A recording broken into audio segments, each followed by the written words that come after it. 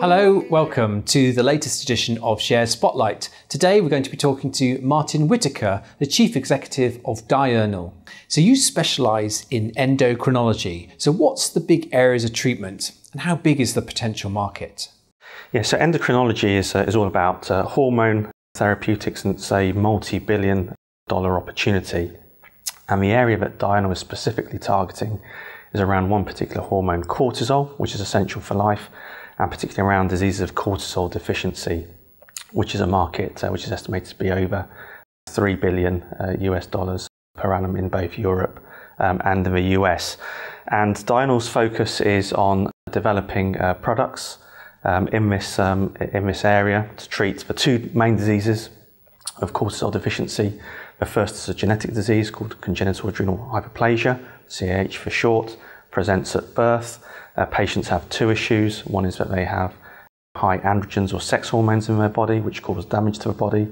And the second symptom is that they have chronic fatigue. And there's a second disease of cortisol deficiency, which is um, adrenal insufficiency, and that's estimated to be a much bigger market, around $2.7 uh, billion per annum. Uh, and that's where patients lose the ability to produce cortisol during their lifetime. Um, and the main symptom of adrenal insufficiency uh, is, uh, is chronic fatigue. So really Diurnal has two lead products. The first product is a pediatric product called Alkindi, uh, which, is, uh, which is for children, uh, and a second product, uh, Chronocort, which aims to treat both of these diseases from birth through to old age. So you recently announced your full year results. What commercial progress has been made with your lead product, Alkindi? Well, we're delighted with the progress that's been made with, uh, with our lead product, um, Alkindi. We announced our results at the end of uh, September 2019. Um, and Alkindi is a product that we've um, now commercialised ourselves in Europe, and that makes Diurnal one of the few UK biotech companies that have taken a product um, all the way through concept, through regulatory approval, and into commercialisation. So at the end of September, we reported in our first full year of commercial sales of Alkindi, uh, sales of over £1 million uh, pounds, uh, sterling, uh, and that was uh, generally ahead of analysts' consensus. Alkindi is launched in Germany, it's launched in the UK uh, and Austria, Sweden and Denmark, and we've got further launches planned in other territories where we've secured pricing, such as Italy, Norway and Iceland to come through 2019 and 2020. So, how are your plans progressing for further registrations of Alkindi and your second product, Chronocort? So, our plans um, are progressing uh, very well in other territories outside of Europe. So, if I begin with Alkindi, um, for Alkindi, we've had some very productive discussions uh, with the US regulator, the, uh, the FDA, um, and we will submit a new drug application. That's our registration package this quarter with the, with the FDA, and we anticipate that we should have a positive outcome uh, sometime towards 2020. Uh, that NDA submission is very important for us at Diurnal because that will trigger um, and, and, bring to a conclusion uh, partnering discussions with US partners. Although we're commercializing Alkindi in Europe, um, we believe the best way to commercialize Alkindi in the US is with a partner, and really the NDA submission will catalyze those discussions, and we hope to announce something um, in uh, the first half of 2020. Regarding our second product, uh, Chronocort, the pathway to uh, regulatory approval has already been mapped out in Europe. We had a very productive meeting with the regulator earlier on this year, and again this quarter uh, we aim to submit our market authorization application um, to, um, to the European regulator, the European Medicines Agency, for the genetic disease congenital adrenal hyperplasia.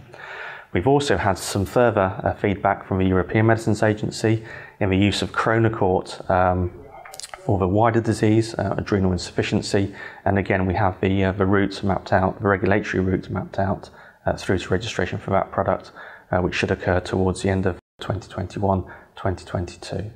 Are there any other treatment areas which you think are underserved and where you are developing new drugs? So at Diurnal, we look at um, a whole range of um, different opportunities in the endocrine space, and we've identified a number of areas where you know, patient uh, needs are, are underserved, uh, particularly in hypothyroidism, uh, uh, prevalent uh, disease, in women, particularly over 60, and also in Cushing's disease, which is the opposite of cortisol um, deficiency, and that's the disease of cortisol excess, where we have an orphan drug designation um, uh, in Europe. Um, however, our next product that's entered clinical trials is our oral native testosterone uh, therapy called DiTest. And this is a 24 patient trial in the target patient population, so in hypogonadal men, so men with low testosterone. And that trial concluded earlier on this year, uh, and again we'll read out uh, this quarter. And really, this the DiTest trial builds on very encouraging preclinical data uh, that we've seen, where DiTest shows very good um, absorption um, into the bloodstream, importantly in the absence um, of food when compared to other oral modified um, testosterone therapies which are available on the market. So if we see um, a similar readout from our, from our clinical study in patients, which shows this uh, very encouraging food effect, then certainly we believe we have a potentially a very valuable opportunity which we can take forward, particularly uh, in the US where the route uh, is mapped out with a regulator going down a very specialist route called the 505B2 route. So I think to summarise, um, really this uh, quarter four 2019 is a very exciting uh, time for Diurnal. We have a number of key uh, milestones uh, coming up.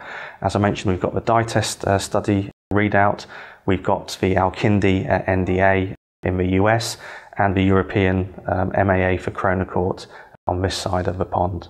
Thanks very much. Thank you. And thank you for watching.